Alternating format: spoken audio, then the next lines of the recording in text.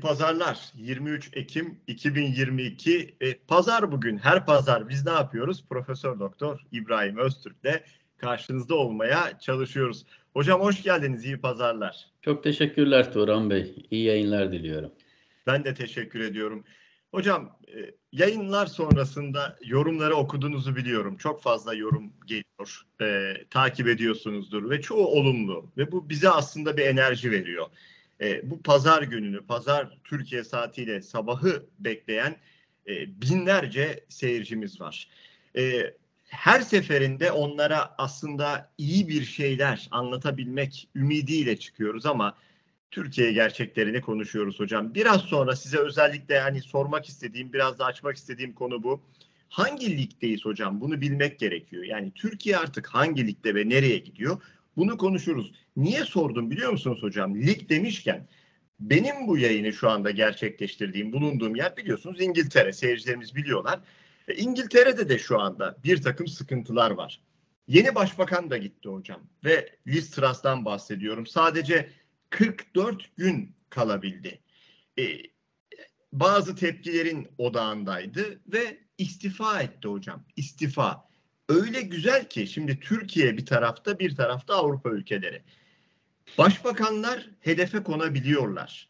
Başbakanlar sorgulanabiliyorlar. Devlet kanallarında sert soruların hedefi olabiliyorlar. Uzmanlar, akademisyenlere halka hesap vermek zorunda kalıyorlar hocam. Ve bu hesap zaman zaman da istifa olabiliyor. Biraz kıyasla başlayalım mı? Sonra Türkiye Ligi'ni konuşalım. Evet çok doğru bir şey yapıyorsunuz Turan Bey. Çünkü biz yani insanların da talebi bu doğrultuda diye hissediyorum. Sürekli içeride olup bitenleri konuşmamız isteniyor. Dışarıya e, pergelimizi, dünyaya açtığımız zaman ilgi bir anda düşüyor. Samarkand romanının yazarı kimdi? Sanırım o demişti. E, e, kendi ait olduğu bu coğrafyayı tarif ederken herkes her şeye ilgili herkes her şeyden acılı ama hiçbir şey gerçekten hiç kimse hiçbir şeyin ne olduğunu tam öğrenmek ve anlamak niyetinde değil diye. Şimdi biz sadece ülkemize e, odaklandığımız zaman ve dünyada ne olup bittiğine mukayeseli olarak bakmadığımız zaman maalesef e, e, haritamız kayboluyor. Şimdi bir tane ilginç örnek vereceğim. Onu yani o arkadaşı çünkü ben takip ediyorum. Bu Almanya'dan haberler veren e, Oltan Bey diye bir arkadaş var. E, güzel bir haber bülteni hazırlıyor. Av, Avrupa'yı ve Almanya'yı odaklayarak haber veriyor. Sürecin içerisinde Türkiye ayağıyla ilintili boyutu varsa birazcık kısmen oraya da giriyor ama yani prensip olarak Türkiye haberlerine girmiyor. Şimdi Almanya haberlerini verirken Oltan Bey çok eleştirel bir tarzı var genel olarak. Yani Almanya'daki sistemi, sermayeyi, büyük şirketleri çok eleştirip e, pozisyonunu halkın yanında alıyor. Açıkçası bu meşru bir tutumdur. Yani çünkü dünyada sermaye e, maalesef serveti kontrol ediyor. Büyük kütle e, yarınından eminsiz. Artık ev almayı Alman orta sınıfı da unutmuş durumda enflasyon gelmiş durumda. Şirketlerin kar üstüne kar kattığı, kar patlaması yaşandığı, Amerikan başkanına çıkıp yeter ama biraz insaf edin bize dediği bir aşamaya gelmişiz. Böyle bir ortamda elbette ki bizim pozisyonumuz, meşru pozisyonumuz bu kadar doymadınız mı? Nerede duracaksınız? Devletle el ele bu sermayenin bitmek tükenmek bilmeyen biriktirme kazanmasına itirazımız yok. Kar etmesine itirazımız yok ama biriktirdiğinden, servetten şu topluma bir bu meşru bir tutumdur. Ama şöyle bir şey var. Almanya'da bu kadar iyi eleştiri yapabilmek için Turan Bey, hı hı. Almanya'da bu yükseklikte, İngiltere'de bu yükseklikte bize bir medya özgürlüğü veriyorlar. Bir demokrasi standartlarımız var ve en önemlisi ne biliyor musunuz? Bütün hayatın en detayına kadar olan istatistikler büyük bir güven içerisinde kayıt altına alınıyor ve kim tarafından alınıyor? O devlet tarafından alınıyor. O devletin Turan Bey prensip şu. Ölçmediğiniz şeyi yönetemezsiniz. Ölçmediğiniz şeyi bilemezsiniz. Kavrayamazsınız, bilmediğiniz ve kavramadığınız mahiyetinin ne olduğunu bilmediğiniz bir şeyi de yönetemezsiniz. Fatih Sultan Mehmet'e atfedilen bir söz vardır. Gidemediğin yer senin değildir diye. Teorik olarak sınırların içerisinde olsa devlet erkini, hizmetini, güvenliğini, demokrasisini, altyapısını götüremediğin yer aslında senin değildir. Senin olmadığını oradaki başkalarının gelip e, süreçlerin başına geçtiği zaman terör olarak, e, kaos olarak, tatminsizlik olarak, intiharlar olarak, fakirlik olarak görmeye başladığın zaman anlarsın ben niye olmuş bu? Çünkü ben gidemiyorum oraya. Ben orada yokum. Eğer siz aynı sokağın kaldırımını her iktidar değiştiğinde, her belediye başkanı değiştiğinde kaldırım değiştirirseniz gidemediğiniz yerlerin kaldırımına sıra gelmez. Gidemediğiniz yerin okuluna sıra gelmez. Gidemediğiniz yerin mektebine, öğretmen kalitesine sıra gelmez. İşte Avrupa'da bunlar olmadığı için bütün detaylı istatistikler yüksek güvenilirlik aralığında sunulup önümüze konduğu için Oltan Beyler gibiler açıkları, eksikleri çok kolaylıkla görüp bu eleştiriyi yapabiliyorlar. Fakat sonunda şöyle bir şey oluyor. Tamam Oltan Bey'in programını takip eden insanlar veyahut da benzer arkadaşlar yani ben Oltan Bey'i beğendiğim için e, söylüyorum bunu. Ya ay be Avrupa ne kadar da kötü durumdaymış ya. Kıymetini bilelim ya. Çünkü senin ülkenden haber alamıyorsun sen. Çünkü senin ülkende hiçbir şey ölçülmüyor zaten. Ölçüldüğünü zannettiğin şey yalan ölçülüyor zaten. Militanlar tarafından önüne konuluyor zaten. Dolayısıyla Avrupa'yı eleştirme hem demokrasi standardın hem hukuk standardın hem de gerçek bilgilere sahip istatistiklerin var elinde. Burayı konuşunca sanki bura çok kötüymüş. Hiçbir şeysini konuşamadığın, hiçbir bilgisini bilmediğin, hiçbir şeysini ölçemediğin ülkende onu da nereden görüyorsun o zaman Turan Bey? Çok komik bir şey. İndirim var diye bir mağaza açılışı yapıyorsun. Ondan sonra binlerce insan kapıyı mapıyı bırakıp cam çerçeve indirip birbirlerinin üzerinden kol bacak kırarak bir adet tencereye ulaşmak üzere o bütün cam fanusu, o yalanlar fanusunu kırıp buz ediyor, yerle bir ediyor. İşte diyorsun Avrupa bizi kıskanıyor dediğin yalan burada çökmüştür. Buradan görmeye başlıyorsun. Ucuz et diyorsun, 2 TL'lik indirim yapıyorsun. Ucuz ekmek diyorsun. Dünden kalma bayat ama taze dalga geçer gibi. Günden dünden kalma bayat ama taze gibi ekmeğimiz 1 TL diye yazıyorsun. Orada olan kuyruklar istatistiğini tutmaktan kaçtığın, manipüle ettiğin ülkenin bütün gerçeğini, bütün çıplaklığıyla önüne koyuyor ondan sonra. Turan Bey ben size bir şey söyleyeyim. E, dün, önceki gün bir kişi gösteri yaptı Çağlayan Adliyesi'nin önünde. Evet. Hırsız Erdoğan 17-25 e, Aralık'ın hesabını verecek dedi. Bir dakika geçmeden tutukladı içeri aldı götürdüler adamı. Alman, İngiltere'den siz haber veriyorsunuz. Baskı, eleştiri, sigaya çekmek o düzeydeki karşılığında tek yolu istifa etmekten başka çaresi kalmayan başbakanlar görüyoruz. Şimdi e, Türkiye'de e, bu e, gösteri yapma, hakkını arama, hukukunu arama şeysi bu kadar aslanın ağzına kaçmış durumdadır. Şimdi bu Liz Truss olayına gelmek gerekirse Ondan öncekilerde çok hızla e, görevden ayrılmak zorunda kaldılar. Dönemlerinin sonuna gelemediler daha doğrusu. Ve e, adlarını artık aklımızda tutamayacağımız kadar hızla gelip gidiyorlar. Son e, dört başbakanın hepsi de aynı şekilde itibarsızlaşarak İngiltere'nin hiçbir sorununa çözüm üretememiş olarak dönemini bitiremeden demokrasi mekanizmasının işleyişi nedeniyle o sayede ayrılıp gittiler. Fakat burada bir şey var Turan Bey. E, bunu Mesela İngiltere biliyorsunuz Avrupa Birliği'nden çıktı. Me- meşhur Brexit kararı. Şimdi bu kararın üzerine özellikle bizim Türkler biliyorsunuz Orta Doğu'da gerçekler konuşmaz. Orta Doğu'da hayaller, inançlar, temenniler konuşulur. İki kere ikinin dört ettiği yer Avrupa'dır. İki kere ikinin kaç ettiği Orta Doğu'da değişir. Senin için kaç eder, benim için kaç eder.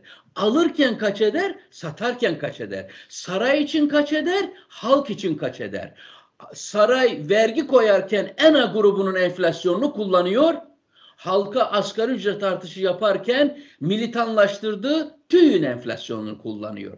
Dolayısıyla biz bir kere dünyalı dille e, konuşmadığımız için olup bitenleri anlamıyoruz. Şimdi insanlar diyorlar ki İngiltere durup dururken çıkmaz aga. İngiliz'in aklı var. İngiliz dünyayı yönetmiş bir akıl. Yeni dönemi fark etti. Avrupa'nın çökmekte olduğunu gördü. Avrupa'yı göçmenler işgal ediyor. Onun maliyetini gördü. Çin'le yeni bir ilişki geliştirmek üzere, yükselen Hindistan'la acayip ilişkiler kurmak üzere, Amerika ile bilmem ne yapmaklar üzerine o büyük İngiliz aklı harekete geçmiştir. Halbuki olay çok basit. Bu cümleleri İngilizler kurmuyor zaten biliyor musunuz? Biliyoruz hocam evet. Bu cümleleri İngilizler adına biz Orta Doğulular kuruyoruz.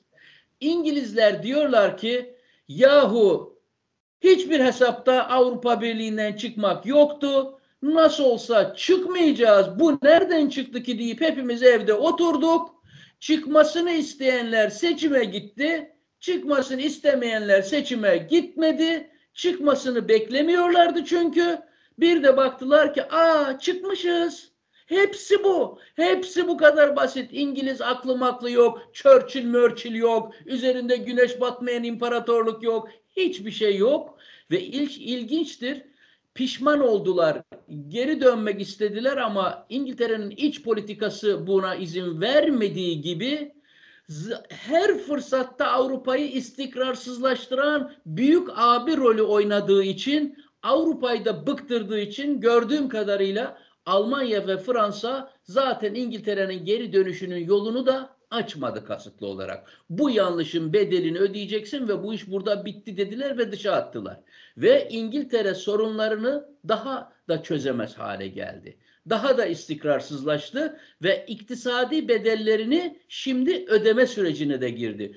500 milyonluk bir koca Avrupa'dan e, kendini dışlamış oldu. O güç birliğinin kenarında kaldı. Dolayısıyla şunu söylemek lazım Turan Bey. Aslında e, belki bu sorunuz üzerine söylenmesi gereken en cüm önemli cümle şu olabilir. Tırnak içinde söylüyorum. Zor dönemler büyük adamlar çıkartıyor. İkinci Dünya Savaşı'ndan sonra İkinci Dünya Savaşı'nın insanlık tarihindeki en önemli barış dönemini inşa eden adamlar çıktı. Amerika'dan çıktı, İngiltere'den çıktı, e, e, Rusya'dan çıktı, Çin'den çıktı, Hindistan'dan çıktı. Bunlar el birliğiyle katkıda bulunarak insanlık tarihinde ilk defa dünya devletleri arasındaki ilişkileri yöneten kurumları kurdular, oturttular ve büyük bir barış ve kalkınma huzur dönemi göreceli olarak diyoruz. Tabii ki göreceli olarak e, kurulmuş oldu. Şimdi öyle gözüküyor ki bu büyük adamlar devri tırnak içinde bitmiş durumda. Maalesef dünyayı gerçekten küçük adamlar, kelimenin tam anlamıyla beyni, vizyonu, misyonu, hayalleri, birikimi, donanımı, devlet adamlığı, liderlik kalibresi düşük insanlar yönetiyor. Buna Türkiye'nin Erdoğan'ını da koyun, Rusya'nın Putin'ini de koyun, İngiltere'de üst üste istifa edenleri, e, Fransa'yı yöneten iradeyi koyun. Bakın bir söz vardır. İtalya'da olan kısa süre sonra Avrupa'da tekrarlanır diye. İtalya'da Mussolini'nin torunu iktidara geldi. İsveç'te sağ iktidara geldi. Bir dahaki seçimde eli kulağında Fransa düşüyor. Ben buna kesin gözüyle bakıyorum açıkçası. Dolayısıyla e, Avrupa büyük bir sağ dalgaya teslim olmuş durumda. Bu Avrupa'nın devamını Doğu Avrupa'da beklemek lazım. E, diğer periferi ülkelerde beklemek lazım. Dolayısıyla tümüyle belirsizliğin hakim olduğu insanlığın barıştan ve istikrardan yön, adeta yorulduğu ve bir macera aradığı yeni bir döneme giriyoruz. Bu taşlar karıldığında hiç olmasın sağlam bir milli birlik ve beraberlik olması lazım Turan Bey. Liderlerin savrulduğu, yanlış kararlar aldığı şeyi bir millet ve o milletin kurumları ancak düzeltebilir. İşte İngiltere'nin bir milleti var. Almanya'nın bir milleti var. Güçlü kurumları var. Eğer niteliksiz lider gelirse sen de olmadın deyip uygun demokratik yönetişim mekanizmalarıyla kenara indirebiliyor. Onların şansı bu. Bizde bu mekanizma olmadığı için Turan Bey ne yazık ki e, e, halk şunu söyleyelim Turan Bey bir kişi gösteri yaptı değil mi? Halbuki Türkiye'de Turan Bey madenlerde ölenlerin sayısın kadar gösteri olmuyor. Olmuyor. Yani 41 madencinin öldüğü bir yerde ülkede 41 yerde gösteri yapılmadı. Türkiye'de çeşitli e, iş kazaları oluyor. İş kazalarından daha çok gösteri yapılması lazım. Böyle bir gösteri yapılmıyor. Ölümlerden daha çok gösteri yapılmıyor. Türk halkı uyuyor, susuyor ve kenarda bekliyor. Çünkü Türk halkını bu anlamda aktif hale getirecek bir duruş gerekiyor. Hocam büyük bir lig farkı var işte. Siz bunu kısaca özetlediniz. Avrupa'da şu olup bitenlerin tamamı çok sert şekilde konuşulabiliyor. Özgürlük bu demek zaten. Basın özgürlüğü tam da bu demek. Demokrasi bu demek. İnsanlar hayat pahalılığını şikayet etmek, protesto etmek üzere sokaklara dökülebiliyorlar. Türkiye'de ise verdiğiniz örnek bir kişi iki kelime ettiğinde başına polis çöküyor ve ondan sonra haber alınamıyor. Turan ve yalanlar... Bey, şunu söyleyeyim Buyurun izninizle. Hocam. Her hafta geçmiyor ki dört kişi, beş kişi intihar etmesin artık. Bir Biz de o var. sizinle bir kişi intihar edince dakikalarca üzerinde konuşuyorduk. Doğru mu? Öyle hocam. Bir kişinin intihar haberini meydanın ortasında kendini yaktığını gördüğümde ben oturdum şiir yazdım. Bakın bir daha yazmıyorum. Çünkü haftada 4-5'e çıktı. İki polis, üç bilmem vatandaş anasını öldürdü, karısını öldürdü. Önce evladını öldürdü, sonra kendini balkondan bıraktı. Artık beni de şiir yazdıramıyor. Bize yahu intihar edenlerin sayısı kadar bari gösteri olsun bu ülkede ya. Evet hocam. Ve yalanlar hocam. Yalanlarla yönetiliyor şu anda. E, malum sansür yasası da artık çıktı. Seçime de bu şekilde gideceğiz. Mesela hocam yalanlar demişken konuşalım mı? Yine e, faiz düşürme hamlesi var ama bu anladığım kadarıyla hocam bu faiz düşürme kağıt üstünde devam ediyor değil mi? Evet Erdoğan açık açık söyledi. Artık Merkez Bankası da bunu yalanlamıyor. Erdoğan da bu ilişkiyi artık yalanlamıyor. O da artık orada da hakikaten su, su, köprünün altından çok sular geçti. Erdoğan diyor ki işte bunu tek haneye indireceğiz. Merkez Bankası devamında açıklıyor. Diyor ki evet diyor. Hı hı. Enflasyonun kaç olduğuyla ilgilenmiyoruz artık diyor. Ö, hatta ölçmüyoruz bile diyor. İnanan inanır, inanmayan inanmaz deyip salmış orayı. Biz diyor e, faizi tek hanede göreceğiz diyor. Ve şimdi e, yüzde on bandına kadar indirdiler. Önümüzdeki ayda onu yüzde onun altına çekeceklerini de gösterdiler. Şimdi sizin elinizde bir grafik var Turan Bey. Türkiye ve benzer ülkelerde enflasyon ve faiz oranı farkı diye. Şimdi şuna bir saniye insanlar baktığında neyi görecekler Turan Bey? Ee, yani Tayland'ı, Güney Kore'si, Malezya'sı, Filipinleri, Güney Afrika'sı var oğlu var. Hepsi Türkiye'ye benzeyen türden ülkeler. Ee, evet e, şunu kabul edelim. Dünyada bir negatif faiz, negatif reel faiz ortamından şu an geçiyor dünya. Ama bu diyelim ki yüzde iki olur, üç olur, dört olur ki bu ülkelerde böyle. Türkiye'deki resmi enflasyon verilerine göre bu fark yüzde seksenlere doğru gitmekte. Zaten grafikte de görülüyor. Türkiye artık uzayda kalmış. Her istatistikte Türkiye yapayalnız tek başına. Dünyalı değil. Uzaylı bir ülke. Biz hiçbir şeye tabi değiliz gö görüntüsü olan bir ülke. Ama sizin de dediğiniz gibi bu kağıt üzerinde olan bir şey Turan Bey. Yani şöyle bir şey oluyor. Bakın tam adını söyleyelim. İnsanlar yorulmadan taze bir zihinle hemen bunu kavrasınlar. Yani faizi düşür diyorlar. Krediyi yandaşa ver. Halka kıs. Çünkü halka kısman lazım. Çünkü işin ucu kaçtı. Yönetilemez hale geldi ülke. Ee, ucuza topla bunu yandaşa ver. Bu e, keyfilik ortamında tabii ki ne oldu e, Turan Bey? E, Türkiye'ye bir kere e, bu faizle döviz girmez. E, zaten e, e, mülkiyet hakları rejimi darmadağın olduğu için kimse dövizini alıp bu saatten sonra döviz kurunun artık kontrol edildiği, döviz giriş ve çıkışlarının artık izne tabi olduğu bir ortama zaten kimse bir döviz olarak elinde gelmeyecek. Ne olacak bu sefer Turan Bey? Türkiye'nin 200 milyar dolara giden bir yılda ödemesi gereken döviz ihtiyacının olduğu bir ortamda minimum bir e, minimum 200 milyar dolar kimsenin de döviz getirmediği bir ortamda oturalım sizle biz yönetecek ülkeyi deriz ki döviz ihtiyacı kimin var?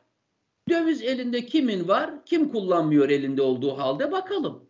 Dönecek halka diyecek ki getirin bakalım siz dövize kaçmışsınız ama Biz burada kur garantili mevduatta verdik. Yine itibar edip getirmediniz. Görüyoruz ki hesaplarınızda şu tarihte çekmişsiniz. Şu bakıyoruz bilmem ne tarihinde 200 bin dolar Ahmet Efendi çekmiş. Gel bakalım buraya. Sen bunu nereye götürdün? Çekip de ne yaptın? İspatla bakayım nereye harcadığını. Tabii ki harcamamış. Elinde duruyor. Bir yasayla bir gece kanun hükmünde kararnameyle alacak. Dövizi olup da kullanmayan e, tedirgin vatandaşın elinden onu tutup alacak. Döviz açığı olan yandaş şirketlere e, keyifle dağıtacak onu. Onlara da diyecekler ki buyurun dövizinizin ederi şu değerden bozuldu. Elinize TL olarak verildi alın kullanın diyecek. Dolayısıyla hani bu faiz oranları düşüyor artık döviz piyasası tepki vermemeye başladı farkındaysanız. Bu ifade yanlış bir ifade. Döviz piyasası nasıl tepki versin ki? Türkiye'de artık döviz piyasası kontrol ediliyor. Her faiz kararından sonra milyarlarca milletin doları satılıyor. Bakın Türkiye'de net dövizleri Merkez Bankası'nın tarihinin en dip noktasına 60 milyar dolara negatif, eksi 60 milyar dolara kadar düşmüş durumdadır. Orası ne kadar negatife düşerse Türkiye dışarıdan kaynağı belli olmayan yerlerden o kadar döviz alıyor demektir. Veyahut da Erdoğan kendi yolsuzluk paralarını kayıt dışı yollardan içeriye sokuyor demektir. Her halükarda bir devletin olmadığını, her halükarda geleceğimizin ipotek altına alındığını. Erdoğan durup durup dış güçler diyor. Durup durup dış güçler diyor ama şu an görüyoruz ki dış güçler sayesinde ayakta duruyor. Dış güçler sayesinde döndürüyor ve o dış güç Putin'e 2024 yılına e, da ödemek üzere bizim petrol borçlarımızı öteler misin diyerek e, daha yeni e, Kuzey Güney Suriye'de İdlib'de daha geçen sene 37 askerimizi öldüren ve çaresizce gidip kapılarında ellerini ovuşturarak bekleyen Erdoğan şimdi o adamı önüne yatmış ona kapitülasyonlar vermekte. Hangi tür kapitülasyonlar verdiğini de bilmemekteyiz Ta ki onun seçim çarkını döndürebilsin diye. Dolayısıyla bu faizi düşürdük lafı kağıt üzerinde ama ben size bir çarpıcı cümle daha kurayım Turan Bey. Yani bu da sorduğunuz sorunun ikinci önemli tespiti olsun. Ya birincisini söyledik. Faizleri düşür, ucuzdan yandaşa ver, halka verme. Dövizi söyledik. İki, dövizi olandan alıp halktan dövize muhtaç olan yandaşa transfer et, bunun yollarını, bunun kanun hükmünde kararnamesini çıkar. Şimdi üçüncüsünü söylüyorum. Şimdi diyorlar ya faiz düşürdü. Hayır faiz düşmedi. Başkalarının üzerine yandaşa ucuza verilen kredinin faizi onlara verilmedi. Direkt hazine üzerinden Türk halkına yazıldı Turan Bey. Faiz düşürülüp kimseye ucuza verilmedi. Halka dendi ki ben bunu beşli çeteme veriyorum. Şimdi dönüyorum hazineye faizini de sana yazıyorum. Sen ödeyeceksin. Bak söyleyeyim şimdi Turan Bey 2023 yılının bütçe e, teklifi hazırlandı. Önümüzde duruyor. Bakınız 2021 yılında Türkiye tam 181 milyar TL faiz ödedi e, borçları için, iç borçları için. 2022 yılında bu faiz miktarı 240 milyar TL'ye çıktı. Ve 2000 23 yılı için bütçeye tam 330 milyar TL faiz ödeneği kondu. Şimdi Türk milletinin önüne koyuyoruz bunu. Erdoğan ne derse tersini yapar lafını bininci kez söyledik. Erdoğan'ın zaafı neredeyse kendisini de rahatsız eden, ulan millet bunu anlarsa ben ne yaparım diye hissettiği yerde kendini tutamıyor tersinden yalan söylemek suretiyle orayı medyasının yardımıyla kamufle etmeye çalışıyor. Bu faiz diye ötesini berisini yırtmasının nedeni tam da bu Turan Bey.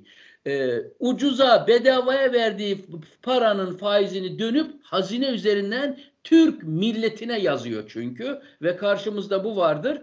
Şimdi bir başka e, gerçeğe dönelim. Bu dediklerimizin içerisinde Turan Bey daha kur garantili mevduatın payı yok bütçede. Daha ona yani onu bu bugün onu söylemiyoruz. O da açtı 100 milyar TL'yi. O da başka bir yük olarak e, faizin yanında Türk milletinin refahından çalınmış olarak orada. Mesela burada e, geçen hafta Türkiye e, biz bunu çokça konuşmuştuk. Türkiye konut enflasyonunda, enerji enflasyonunda, gıda enflasyonunda Normal enflasyonu zaten söylemiyoruz. Normal enflasyonda dünyanın ilk üç ülkesinden biri olmuş. Venezuela bir, Türkiye işte üçüncü oralarda. Ama özel halkın canını yakan enerji, gıda ve konut enflasyonunda Türkiye dünyada yine en tepede yer almakta.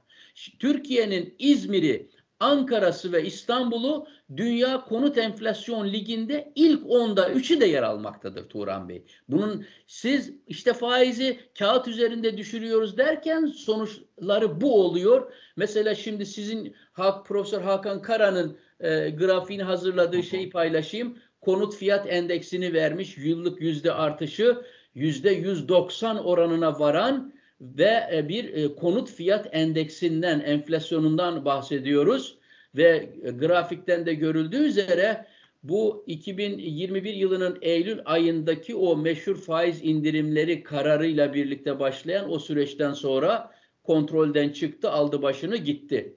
Ama bu bu konut enflasyonu ne demek Turan Bey? Siz konutun yüzde 190 oranında arttığı bir ortamda sizin geliriniz yüzde 190 oranında artıyor mu? Hayır. Artmayınca nasıl konut sahibi olacaksınız? İşte şu an millet o yüzden başını sokacak iki artı bir yere kira için bulmak için e, kendini paralıyor. Bulursa da oraya 10 bin TL'ye varan oranlarda kiralar ödemek zorunda komik komik koridorlardan, bodrumlardan, e, çatı katlarından gelen trajikomik fotoğraflar alıyoruz değil mi? Şurayı e, e, farelerin yaşamayacağı yeri 5000 TL'ye şu depoyu komut diye penceresiz, kapısız, doğalgazsız yeri kiralamak istedi diye. Şimdi bakın elimizde son bir yılın şimdi bir bir şey daha var. Bitmedi. katman katman halkı yakıyor. Siz şimdi halkın elindeki tasarruf edeni bu kadar bir beşli çetenin önüne onun çıkarları için yatırdığınız zaman bu halk nereden e, kendini koruyacak, nasıl koruyacak diye bakınca o meşhur yıllık yatırım araçlarının getirisi grafiği önümüze yine geliyor Turan Bey. E, elimizdeki grafikte bir e, mavi bir de kırmızı çizgiler var, sütunlar var e, Turan Bey. Burada e, işin gerçeği e, enflasyona e, e, indirgenmiş olarak enflasyona uyarlanmış olan verilere baktığımız zaman bakın e, e, bir Amerikan doları geçen son bir senede hala yüzde on yediye yakın oranda kazandırmış. E, ilginçtir. Bütün Türkiye'yi manipüle ettiler.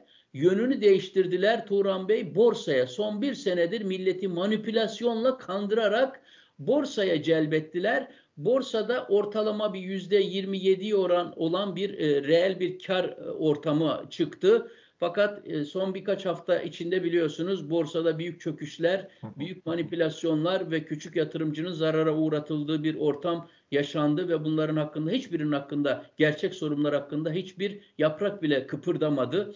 Ama bunun dışında avroda kalanlar ki bunu takipçilerimiz biliyor. En az iki senedir avro zamanı değildir diye açık açık diyorum. Avrupa'da yaşıyorsan ihtiyacın avro ise ben sana bir şey demem. Avroda kal. Ama yatırım aracı olarak iki senedir aralıksız diyorum. Avroda değil dolarda kalacaksınız diye. İlginçtir. Altın da değildir zamanı. Do, dolardır zamanı da diyorduk. Dolayısıyla e, maalesef euroya külçe altına e, yatıranlar bir yüzde on ikiye varan oranda kazanmışlar. E, devlete borç verenler yüzde yirmi beş oranda zarara uğratılmış. Mevduat olarak hala devlete kanıp da gidip de bankasını faizle paraya sını bankaya yatıranlarsa yüzde otuz yediye varan oranda zarar ettirilmiş durumda. Şunu söylemeye çalışıyoruz. Yani devletinden kurtulamıyor halk. Nere yönelse e, kandırılıyor. Nere yönelse manipüle ediliyor ve halbuki bir devletin en temel görevi fiyat istikrarını sağlamak, fiyatları öngörülebilir tutmak, yatırım ortamını da gerçek manada tasarruf etmeyi ödüllendiren bir ortam yaratmaktır. Devlet fiyat istikrarını darmadağın ediyor, Halkı da ben devlet gücüyle seni manipüle edeceğim, elinden bir şekilde alacağım ve sana zarar ettireceğim diyor. Öyle olunca ne oluyor? Halk elinde ne bulursa tüketime gidiyor. Ne bulursa tüketmeye çalışıyor. Ondan sonra da diyorlar ki her taraf dolu. Ya 10, 20 milyona varmış koca İstanbul'un nüfusu. Bunun 2 milyonu sokakta olsa her yer tıklım tıklım dolar zaten. Ne, bu neyin göstergesi olabilir ki zaten? Ama mevzu şudur. İnsanlar enflasyon korkusundan paralarının değerlerini kaybedeceği korkusundan ve alternatif yatırım araçları sürekli zarar ettirdiğinden Turan Bey insanlar diyorlar ki bari zaten gıda kıtlığı var kapıda zaten yağ bulamıyoruz e, şu bulamıyoruz fiyatları almış başını gidiyor. Akmaz kokmaz çürümez olanlarını bari alıp stoklarımıza koyalım. Çünkü bir daha aynı fiyata alamayacağız. diye insanlar can hıraş bulup bulup stok yapmaya çalışıyor. Bunu sadece vatandaş yapmıyor, şirketler de yapıyor. Üreticiler yoksa ortada kalacaklar. Yoksa batacaklar. Onun için devlet kendi eliyle iktisadi davranışları bozduğu için kendi eliyle bir stokçuluk kültürünü yeniden Türkiye'de hortlatmış oldu. En kötü haberlerden biri de bu. Hocam enflasyon, gıda kıtlığı ve bütçeden bahsettiniz. Şimdi bunları şöyle bir karıştıralım. Çok önemli başlıklar bunlar. Mesela 2023 için sarayın bütçesinde bir yüzde altmışlık e, arttırıma gidiliyor. Ama aynı oranda da yakın oranlarda da e, her şeye iğneden ipliğe zamlar geliyor. Vergiler aynı oranda arttırılıyor. O zaman şöyle bir tablo çıkmıyor mu hocam? Halkın sofrasından, boğazından alıp sarayı besliyorlar. E peki bu gıda fiyatları altında halk nasıl hayatta kalacak? Valla Turan Bey e, şimdi burada e, e, çok net e, şimdi asgari ücret artışına bakmak gerekecek. Hı hı, şimdi hı. asgari ücret geliyor. Şimdi çok ilginç e, bir e, sansür yasası çıkardılar. Onu geçen hafta konuşmuştuk. Siz şimdi belki ENA gruba bile tezvirat yapıyorsun halkın moralini bozuyorsun. Sen nereden çıkardın gittin Türkiye Cumhuriyeti Devleti'nin TÜİ varken sanki onun açıkladıkları neyine yetmiyordu da gitmiş başka şeyler göğe ölçmeye çalışıyorsun diye belki o arkadaşları e, duvara kıstıracaklar ve ne olacak böylece Turan Bey? E, enflasyonu ölçtürtmedikleri için, halka da duyurmadıkları için ne olacak? Enflasyon gerçek, reel ücret artışı sahte e, e, ücret artışı, asgari ücret artışı, emeklinin ücret, e, emeklilik maaşı artışı sahte. Ne olacak? Bu bahsettiğimiz dünyanın en sert enerji, gıda, kira, konut enflasyonuna karşı bu halk e, sahte rakamlara dayalı e, sahte e, asgari ücret artışlarıyla nasıl baş başa gelecek? Bakın şimdi seçim satım ayine gittiğimiz için Turan Bey e, yılın sonunda ne kadarlık bir asgari ücret artışı yapılacağı yeniden tartışmaya başlandı. Şu ülkenin haline bakar mısınız? Tam da korktuğumuz şey. Ücret enflasyon sarmalına girdiği zaman onun sonu tarihin en büyük çöküşü olacak dediğimiz şeyin tam içinden geçiyoruz. Bir asgari ücret artışı yapıyorsun. Asgari ücret artışı mecburen bir maliyet unsurudur. O da e, e döviz kuru gibi, diğer maliyet unsurları gibi hesaplara girip o da bir de bu asgari ücret artışı biraz da talebe yansıyor. İnsanlar daha çok alışveriş yapmak istiyorlar. Derken bir yandan talep ayağından bir yandan maliyet ayağından enflasyonu bir kademe daha azdırıyor bu sefer. Faizi düşür, kur artıyor, asgari ücrete zam, talep artışı, tüketimin öne çekilmesi e, kaygısı derken bir round daha enflasyon. Bu sefer iki ay geçmeden, üç ay geçmeden o yaptığınız asgari ücret zammının işe yaramadığı ortaya çıkıyor. Seçim satım halindeyseniz hurra haydi bir artış daha. İşte şimdi o artışa doğru daha gidiyoruz. Şimdi ben size söyleyeyim muhtemelen şöyle bir şey olacak. Seçimdir. Allah bereketini verdi tabii seçimden dolayı. Bütün kaoslar seçimin sonrasına öteleniyor. Diyecek ki bakan çıkacak diyecek ki e, sendikalarla göğe pazarlık yapmış ki biliyorsunuz bunlar artık fake hareketler. Diyecekler ki yap, işte, işçi sendikalarıyla konuştuk. Sendikalar diyor ki vallahi 8 binden az olmaz. Yani böylece sendikalar surete haktanmış gibi gözükecekler. E, ondan sonra çıkacak e, ulu reisimiz diyecek ki ya nasıl pazarlık yapmışsınız öyle ben emekçimi ezdirmem. Bu yetmez. Bu yetmez ben 10 diyorum görsen alkışı, görsen sevinci, görsen rey patlamasını işte demiştik. Yaparsa reis yapar diye. Nere kadar? Nere kadar? Seçimin sonuna kadar ondan sonra kaçınılmaz IMF programı geliyor. Kaçınılmaz zam vergi sahnağı geliyor. Kaçınılmaz sopa geliyor başına. Ondan sonra beklersin ki 5 sene enflasyon oranında bir artış daha alalım da kendimizi kurtaralım diye çok beklersin ondan sonra. Hocam bu sebeple yüksek diyorsunuz o zaman. Yani gıda fiyatları normal mi şu anda Türkiye'de? Gıda fiyatları şöyle Turan Bey. Esasen gıda fiyatları ile ilgili söylenecek tabii e, çok şey var. E, şimdi örneğin şu an e, belki oraya bir girelim az da olsa. Girelim hocam. Şimdi Türkiye'de e, tarım e, enflasyonu Eylül'de e, yüzde e, bir önceki aya göre aylık bazda yüzde yedinin üzerinde arttı. E, bir yıllık olarak bakınınca yüzde 112 oranında arttı. 12 e, aylık olarak pardon 12 aylık olarak bakınca yıl başından bu yara yüzde 112 arttı. Tam bir yıllık olarak bakınca da yüzde 156 oranında tarım enflasyonu arttı Türkiye'de. Bunu bu Bloomberg'den aldığımız grafikte çok güzel gösteriyor. Yani inanılmaz bir sert bir tarım ürünleri enflasyonu var. Gıda enflasyon tarım yüzde 156 Gıda enflasyonu da yüzde 93'ün üzerinde devletin kendi ölçümlerine göre. Şimdi bunun çok yüksek olmasının esas nedeni tabii ki şunlar. Bir, yani e, e bu e, maalesef Türkiye'de bu düşük faiz, yüksek kredilendirme modeline göre kolay değil mi? Para basıyorsun, dağıtıyorsun halka. Yani yemesi kolay, özür dilerim, sonrası hazmetmesi zor olan bir şeyden bahsediyoruz. Zaten bir şey ne kadar kolay gözükürse sonuçları da o kadar zordur. Hayatın kanunu budur. Şimdi e, dolayısıyla dünyada kabul edelim. Enerji fiyatları artıyor, emtia fiyatları artıyor. Tarımın bütün girdilerinin gübre fiyatları artıyor. Ee, akaryakıt fiyatları artıyor. Toku, tohumun fiyatları artıyor. Fakat sorun şu ki, zat iki tane temel sorun var. Bir, Bunlar içeride niye üretilmiyor kardeşim? Türkiye gübreyi niye ithal etmek zorunda kalıyor?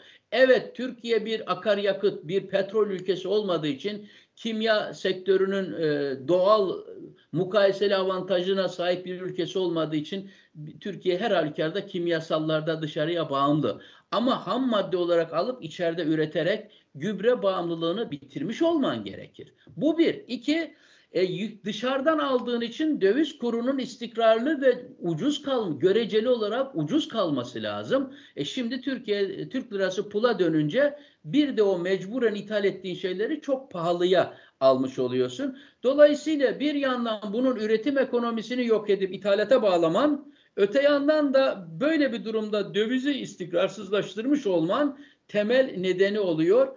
E, tabii ki şunu söyleyelim Turan Bey, e, e, girdi maliyetleri bu kadar artarken gübresinde, akaryakıtında, tohumunda, şusunda, busunda e, halk nihai ürününü istediği fiyattan satamıyor. E, tarlada elinde kalıyor. Maliyetini e, karşılamıyor. Böyle olunca üretimden de vazgeçiyor. E, şimdi biraz sonra e, bu Türkiye'nin tarım ekonomisine e, geçen hafta biliyorsunuz haber vermiştik ama gündemimiz izin vermemişti, girememiştik. Biraz ona e, belki bu vesileyle girerek yani esasen konunun ne olduğunu bu tarım ekonomisi üzerinden sürdürebiliriz isterseniz. Hocam sürdürelim. Hatta şunu da isterseniz açalım. Süte, süte de ayrı bir parantez açmakta fayda var diye düşünüyorum. Bana göre tarımda e, iki şeyi iyi konuşursak geri kalanlar aynen bunun gibidir diyebiliriz. Böylece e, e, lafı dolandırmadan. Şimdi bu tarım sektöründen birisini siz söylediniz süt, birisinde ben söyleyeyim buğday. Türkiye için iki tane kritik şey. Çünkü süt konusunu çözemezsen tereyağı konusunu çözemezsin. Peynir konusunu çözemezsin. Süte bağlı halkın temel gıda e, spektrumundaki sorunlarını çözemezsin. Buğday sorunu çözemezsen ekmek sorununu çözemezsin. un sorununu çözemezsin. Di, buğdaya dayalı bir e, geniş bir ürün yelpazesini zincirleme bir trafik kazasının içine sokmuş olursunuz. Şimdi Turan Bey bakın ilk buğdayla başlayayım izninizle. Şimdi Türkiye ile ilgili bir tane 1980-2020 arasındaki Türkiye'nin buğday üretimiyle ilgili bir tane grafimiz var. Uzun dönemli bakalım ki halkımız anlasın onu. Şimdi şunu söyleyeyim. Türkiye 1990'lardan beri mevcut tarımsal kapasitesiyle, mevcut verimliliğiyle, mevcut tarımsal üretim alanlarıyla yılda 20 milyon ton buğday üretmek suretiyle Turan Bey dünyanın da ilk 7 ülkeden biriydi. En çok buğday üreten dünyadaki 7 ülkeden biri. 20 milyon ton. Bakın son verileri vereyim size.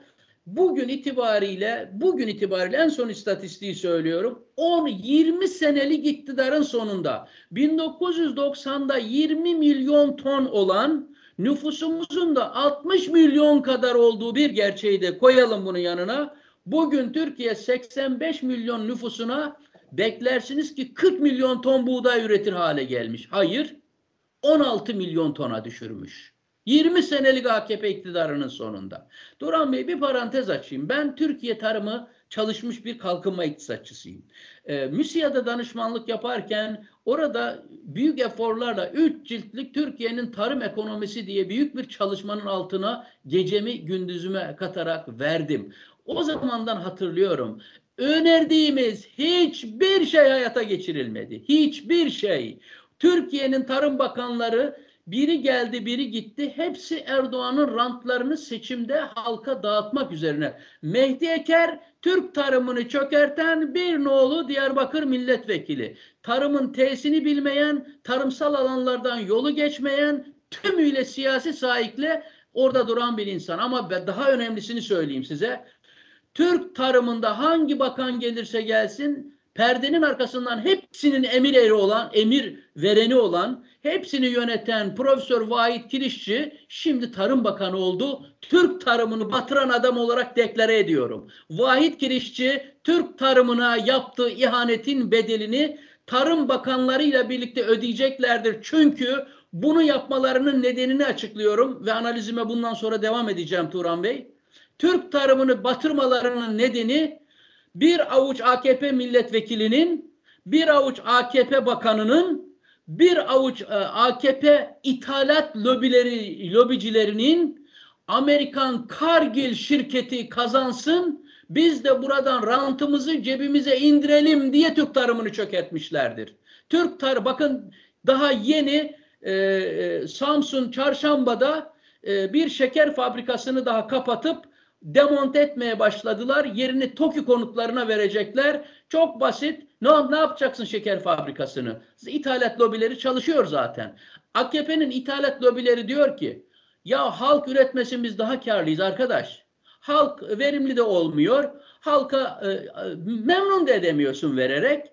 İthal etsen daha verimli oluyor. GDO'lu ürünü alıyorsun, içeri sokuyorsun. İthalatından kazanıyorsun, rantından kazanıyorsun, lobisinden kazanıyorsun, şirketinden kazanıyorsun. Kargil'in yönetim şirketlerinde oluyorsun. Kargil'in dağıtımcısı oluyorsun. Türkiye'de, Anadolu'da onun dağıtıcılığını AKP iradesi yapıyor. Onun için tarımla uğraşmaya gerek yok. Bu kadar büyük kazanç varken diyorlar. Ve böylece ne oldu Turan Bey? Bakın bugün itibariyle Türkiye 16 milyon ton buğday üretir hale geldi ama yıllara şamil olarak ithalatını söyleyeyim size. Türkiye 2002 yılında 1.1 milyon ton buğday ithal ederken 2019 yılında 10 milyon ton Şimdi 2020 yılında geçici rakamlardır bunlar. Ee, yine bir e, 8 milyon tondu o tarihte. Yılın tamamında o da 10 milyonu aşmıştır. Ve muhtemelen e, Turan Bey bu yıl e, üretim miktarı 16 milyon tona düştüğü için muhtemelen en az 15 milyon tona yakın buğdayı yüksek döviz kuru üzerinden Türkiye ithal etmek zorunda kalacaktır. Şunu söyleyeyim Turan Bey, şunu söyleyeyim size ve bu rakamı da önemli paylaşalım. Bakın tarım yapılan alanlardan bahsedeyim size. Çok komik bir şey. 2018 yılında tarım yapılan alanlar 73 milyon e, dekardan 2021 yılında 67 milyon dekara düşürüldü. Ne oldu bunun yerleri? Tabii ki TOKİ'ye veriliyor. Tarım alanlarına inşaat yapılıyor. Daha sonra beton yemek üzere ee, ve dolayısıyla da üretim de bu nedenle düşüyor. Bir şey var burada diyebilirsiniz ki bana ya hocam yani sürekli tarımsal yeni tarım alanları açmak gerekmiyor nüfus arttığı için. Bunun sonu yok çünkü bir yerde ithal edeceksin doğrudur. Ama verimlilik konusunu konuşmamız lazım Turan Bey. Türkiye yıllardan beri 30 senedir e, tarımsal verimliliğini buğdayda 250'ler civarının üzerine çıkartamadığı muhataplarının verimliliği 500. Türkiye'nin soru tam da soru budur. Tam da soru budur. Türkiye'nin tarımsal alanlarının biraz daralmış olması değildir sorun. Oralarda alternatif tarım ürünleri de yapabilirsin. Sorun şudur. Mevcut alanlarında e, niye verimliliği artıramıyorsun? Çünkü modern e, teknikleri halk kullanamıyor, bilgisi yetmiyor, pahalı alamıyor. E, insanlar borçlandığı zaman o alet edevatı eviyle birlikte e, bankalara kaptırıyorlar. E, ve dahasını da söyleyeyim Turan Bey, Türkiye e, kıtlık kuşağındaki kuraklık kuşağındaki Türkiye 20 senedir tarımda sulama sorununu çözemedi ve verimliliği artıramadı. Şimdi izninizle bu tarımı anladık yani. Verimliliği artmamış, tarım, ekim alanları daralmış, inşaata kaptırılmış. 20 e, milyonluk tarımsal üretimini 20 sene sonraki iktidar 30 milyona çıkartması gerekirken 16 milyona düşürmüş. İthalatını 10 milyon tonun üzerine çıkartmış. Bu bağımlılığı da Ukrayna ve Rusya'ya büyük oranda bağlanmış durumda. Amerika'dan dahi buğday ithal etmek zorunda. Şimdi gelelim ikinci hususa Turan Bey, süt olayına. Çok komik bir şey oluyor Turan Bey. Biliyorsunuz biz burada sizinle e, Politbüro e, gıda komitelerini çok e, tiye aldık, dalga geçtik değil mi? Çünkü ö, ya Erdoğan tarihe geçecek Turan Bey. Er, yani bana ekonomide deseniz ki hocam öyle bir şey yap ki öyle bir zarar ver ki her şeyi bozsun zincirleme. Bir tek şey yap her şey tarumar etsin. Ekonominin adeta bana e, yani şey Moğolları gibi. Ekonomide Moğolluk nasıl olur diye bir şey sorsanız. Ekonomideki Moğolluk para basıp enflasyon yaratırken enflasyon aşağı e, faizi aşağı çekmektir. Başka bir şey yapmanız. Geçin kenara ve seyredin yangını Turan Bey. İşte şimdi o yangını seyrediyoruz. Baktılar ki enflasyon milleti yakıp yıkıyor. Bir avuç yandaşı e, zengin ediyorlar. Dediler ki biz fiyat komitesi kuralım.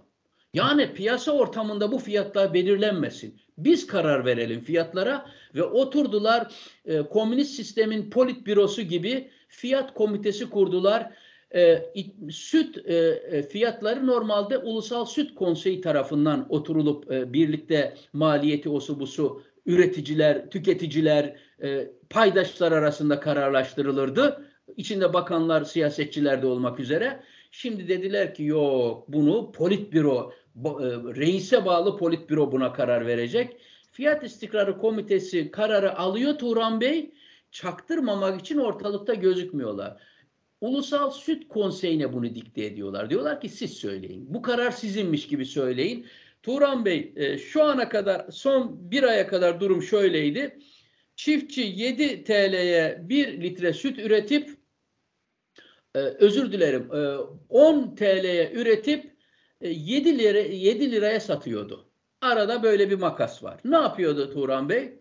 İnsanlar, sütçüler konuşuyor. Ben Türkiye'nin süt üretim çiftliklerini, e, hayvan çiftliklerini en modern Avrupa Birliği bayrağı almış. Mavi bayraklar asmış. Çok modern çiftlikler kurdum Turan Bey milletvekillerinin, bakanların, uzmanlarının yollarının geçmediği yerler. Türkiye'de böyle bazı deli adamlar var. Dünyaya gitmiş görmüş. Farkındalığı yüksek. Yahu ben bu milletin kaderini değiştiririm. Bana bir adam dedik hocam şu benim çiftliğimden 100 tane kurun.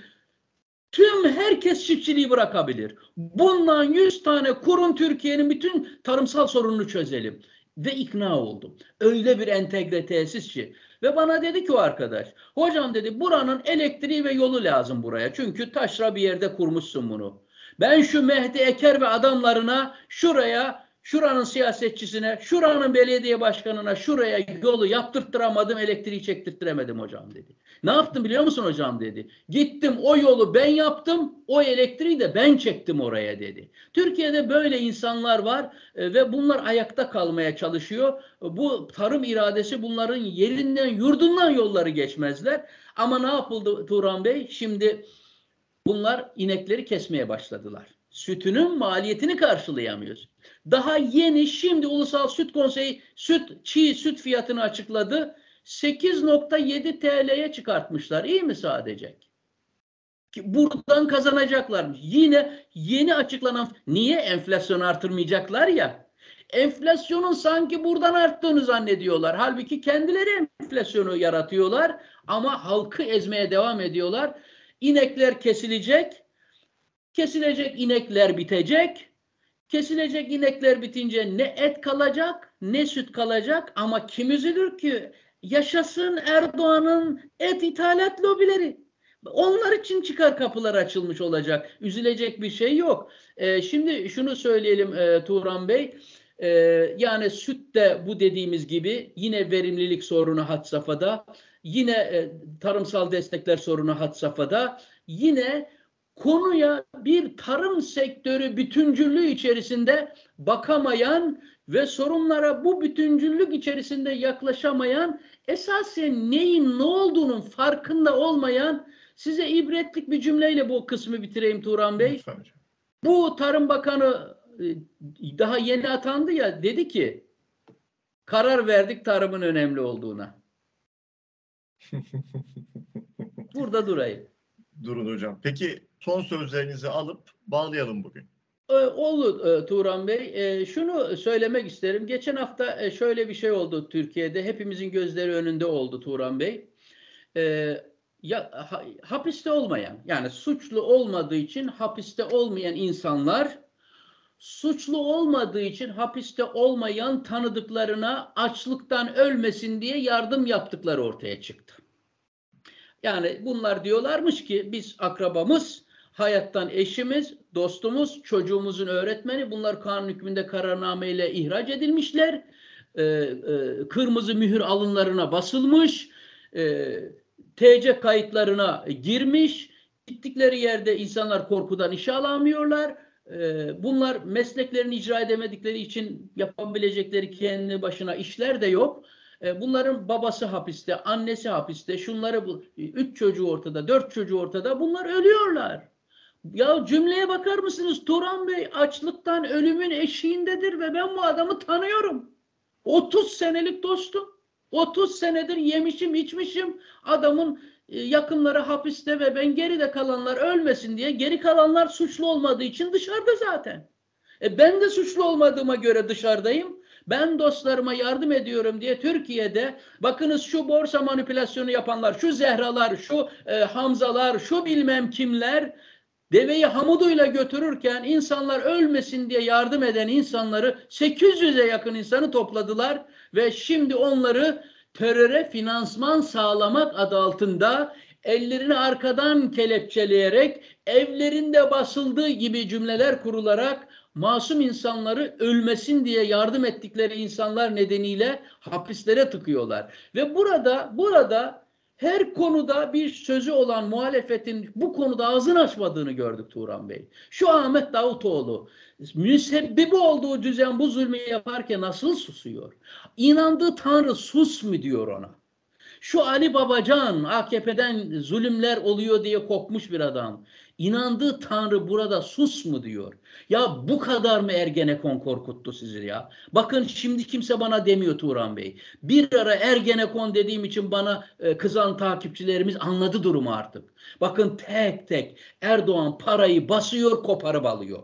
Parayı basıyor koparıp alıyor. Kasetini gösterip koparıp alıyor. Kayıtlarını gösterip kopartıp alıyor. Ha dediler ulan Metin Feyzioğlu'muz vardı. Ulusalcı Atatürkçü kardeşimiz Tayyip'in yanına ne oldu da geçti. Vay bilmem ne Çelebi'miz Mehmet Ali Çelebi'miz vardı. Ne oldu da bu yüce ordumuzun şerefli ordumuzun mensubu geçti. Şimdi ben anlatıyordum anlatıyordum derdim anlaşılmıyordu. Şimdi şöyle diyorum. İşte Ergenekon budur. Bu seyretmekte olduğunuzdur Ergenekon ve o Ergenekon o muhalefete şu zulümler karşısında ağzını açmayacaksın diyor. Ahmet Davutoğlu Ergenekon'dan korktuğu için ağzını açmıyor. Ali Babacan Ergenekon terör örgütünden korktuğu için ağzını açmıyor. Kemal Kılıçdaroğlu, Meral Akşener partisine Ergenekoncuları doldurdu. Kork Seçime gitmeye, bir şey değiştirmeye gerek kalmıyor o zaman Turan Bey. Bakın geçen bir arkadaşım bir tweet attı Turan Bey. Dedi ki makul insanlar böyle Türkiye'de ya bu iyi bir adam e, diye dediğiniz adamlar parti kursa yüzde kaç oy olur tahmin edin diye bir anket yaptı. Ben ona cevap verdim. Dedim ki en az yüzde 30 ile 35 arası rey alır. Nasıl bir şey demişsem Turan Bey Yöneylem şirketi bir araştırma yaptı. Yeni sonuçlarını açıkladı. Bir soru soruyor. Diyor ki Türkiye'nin sorunlarını hangi parti çözer diye soru soruyor. Türkiye'nin sorunlarını hangi parti çözer cevabı CHP yüzde 18 alıyor. İyi Parti yüzde 7 alıyor. Geri kalanlarını saymıyorum bile. Türk halkı CHP'ye ve İyi Parti'ye ve Altılı Masa'nın paydaşlarına baktığı zaman bunlar bu ülkenin sorunlarını çözebilir diye dememişler. Ne demişler Turan Bey? Hiçbiri bunların çözemez. AKP'de dahil olmak üzere hiçbiri çözemez diyenler yüzde 36 çıkmış. Bu bizim önümüze kocaman bir strateji koymuyor mu? Arkadaşlar yaptığınız siyaset Türk halkında karşılığı olmayan bir siyaset. Recep Tayyip Erdoğan bu siyaseti böyle yapmıyordu. Recep Tayyip Erdoğan rejimi kendisine standart olarak almıyordu. Ergenekoncuları kendine standart olarak almıyordu. Vay polis ne der, vay asker ne der, vay bunların yargıçları ne der demiyordu. Mahalle mahalle, salon salon, sokak sokak bu ülkeyi inletiyordu yerinden. Siz evinizde akşam mutfağa kurulup çekirdek çıtlatarak ben geleceğim değiştireceğim diye popülizm yapıyorsunuz. Dolayısıyla bunu söylemek istedim. Bu şekilde de bitirmek istedim. Türkiye maalesef Türkiye'yi geleceğe taşıyacak bir muhalefet iradesini halen ortaya koymuş değildir. Türkiye yarınlarını inşa edecek o bir adamı arıyor. O bir adamı ve o bir adamın örgütleyeceği bir muhalefeti arıyor. Umarım onu bu altılı masa hiç olmasın Türk milletine son bir hediye olarak o kişiyi bulup ortaya çıkarır. Hocam çok teşekkürler. Ağzınıza sağlık. Bugünlük böyle bitirelim. İyi yayınlar diliyorum. Çok teşekkürler. Evet haftaya bir başka gerçek ekonomi programında Profesör Doktor İbrahim Öztürk'le bu ekranlarda buluşmak ümidiyle. Hoşçakalın.